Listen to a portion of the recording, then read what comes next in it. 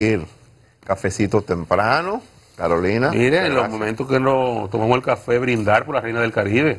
Los fines de semana Sí, clasificaron y, por los Olímpicos. y por el Banco Popular. No, y- y tú lo que acaba de ganar un premio un premio de una docuserie de la de, una- de un documental de Río- comunicación. Ríos de Vida. Es el documental a partir de Los la, ríos, ¿eh? Del libro. del libro de los ríos de la República Dominicana de eh, Domingo Marte, que, el- que hace el libro. Eh, una joya, una joya Qué de, chulo, de- lindísimo, Una joya de libro. lindísimo, así es. Que felicitaciones al Banco Popular y A la Reina del Reina Caribe. también. que Oscar lo ponía difícil a partir de un juego primero que se perdió.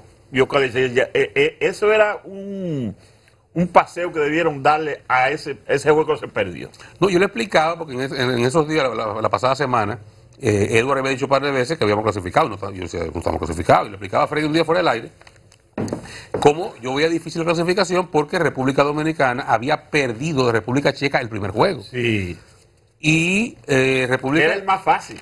no era el más fácil necesariamente, pero era, digamos, de lo que debía ganar sí o sí, porque República Dominicana está clasificada, estaba, supongo que subiría en el ranking, eh, 9 eh, en el mundo, y en el grupo tenía dos países con un ranking inferior, como Serbia, que era número uno, y China, que era 5 y local. Sí. Y nos faltaban esos dos partidos por jugar. Yo le decía, bueno, el fin, le decía el fin de semana se, defini- se definirá, pero hay que ganar todos los juegos que son duros. Yo le decía incluso con uno que ganemos, me lo, me lo encuentro mucho y tenemos chance. Pero ganarlo los dos es complicado. Y las muchachas lo ganaron los dos. A Serbia, el país número uno del mundo en el ranking global, y a China, que es el número cinco de anfitrión y dos potencias en voleibol.